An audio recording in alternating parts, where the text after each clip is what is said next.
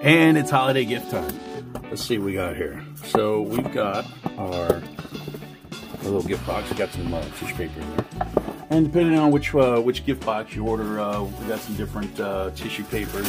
This one kind of goes in our hot package. So we got some pepper paper, but uh, for our holiday paper, we're just sticking with some, uh, you know, holiday festive colors. So we're going to go with red.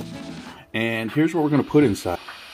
Four of our bags of jerky inside this little sampler box. So you got yourself uh, something special this year. So you got a bottle of this right here, and this is the uh, most popular all-purpose seasonings that we're selling from this line. We do have a, a bunch of other ones too that you can check out.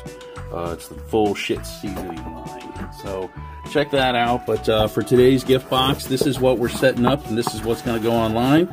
So uh, one of these guys right here. Let's do that. And then we're going to go ahead and start throwing in some jerky. So let's throw in some uh, Asian barbecue. Whoops. Let's throw in some original.